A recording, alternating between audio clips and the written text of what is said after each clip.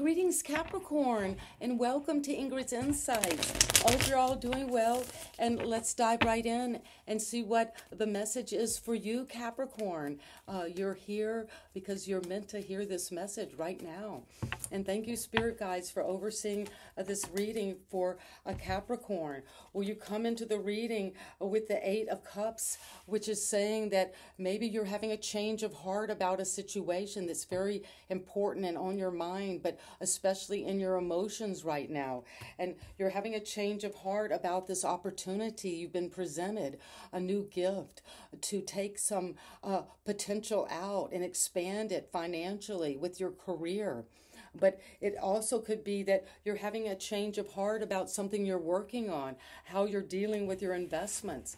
Uh, and it's going to bring you the Five of Swords at the foundation.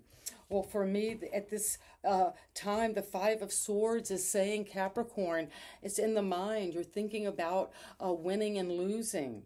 And maybe you're feeling like, well, I uh, have this opportunity, this potential to make money, to grow, to expand, but there's a lot of fighting. Is it worth the fight? Uh, do I want to uh, keep on battling against a, a big force? This is like David and Goliath type energy.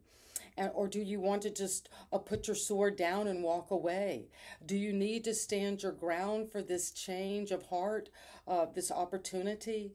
Uh, or uh, the influence from your recent past was you were apathetic, despondent, bored, uh, feeling disappointed in your relationships from the past, which is leading with the Eight of Cups to say, I'm ready. The juice is gone out of this situation I've been working on and fighting for and defending myself against, and maybe uh, feeling like, do I have to win and lose at all cost? Uh, you could have a chip on your shoulder because there is some sadness, uh, loss, regret in relationships, but you're being offered another cup, uh, something new that you might want to walk toward that has more juice, that is your true destiny and it's coming with the nine of swords because at the uh, crown you're worrying you're in a nightmare you're very, feeling very anxious. Um, you have the five and then to the nine. So there is a sense of uh, battling uh, feeling that there is bullying energy or victim victimizing energy that is causing you to worry about someone else perhaps or worrying deeply about your own situation and feeling um, cut off in the doldrums, not knowing how to move forward, can't sleep but can't wake up. And you're going to have the magician. Uh, this is Gemini uh, Virgo energy is going to help you right now. That's coming in the near uh, future. It's on the horizon. A way of letting go of this nightmare of waking up to the uh, pure potential power you have in your own personality. And you're going to use all of these uh, tools that you have at your uh, disposal, what's on the table, and tap into that higher uh, power uh, to move forward and to create and to manifest and to uh, bring this coin uh, down to earth and you're going to pull out anything from your heart that has been burdensome, that has been wounding you. Um, you go from the three to the five to the nine. So there is a progression of coming to understand mentally whatever has hurt you, uh, a divorce that has left you wanting to move on, um, a situation where there was a breakup in a relationship, that there was a lot of fighting and boredom and apathy and worry and nightmarish energy. But you're moving on from that um, with the ability to use the environment. Uh, this could be a doctor, a lawyer, an engineer, someone who is a very a bright, uses their intelligence um, by looking at the facts of what's going on and seeing um, whatever has happened in this heart, this breakup, uh, this heartbreak that could have been uh, something you moved away from already, but you're seeing it clearly, or that the environment is seeing uh, this energy clearly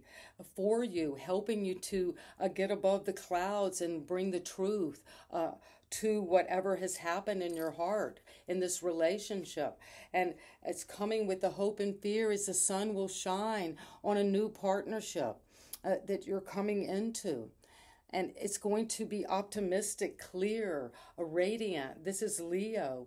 And so when the sun shines a Capricorn in your reading, it's illuminating this whole situation and it's saying it's a very empower empowering, optimistic, uh, successful, happy, but there's joy and vitality coming after you let go of any heartbreak, any uh, fighting, any sense of winning and losing um, that caused any nightmare or mental anguish, you're moving forward and you're going to take this out with the uh, Four of Wands. Well, you're going to celebrate. It's coming to this fulfillment. You're coming to a finish line with all of this energy, uh, Capricorn, and you're going to uh, uh, celebrate this with a great harvest with other people under the sun, with truth and clarity. And get rid of any of this mental conflict around past hurts and relationships and make magic with uh, whatever it is you're leaving behind with this nightmare. So you can take this coin and to use your gifts and skills to bring this down to earth and make it real. Uh, and to, if you do need to leave behind anything where you were fighting, a feeling like victimized or feeling like it was a, uh, just too much of a burden, you're letting that go and you're going to take a new opportunity in love to receive that offering recently, and that will help you move beyond this nightmare uh, toward the sun, uh, toward uh, this a celebration of what you are creating and making magic in the light of the sun with growth, optimism, expansion. And uh, you hit the finish line now, Capricorn. So, a beautiful reading. I hope this resonates wherever you find this is for you, Capricorn. Please leave subscriptions, thumbs up, and comments, and sending you love back. Bye bye.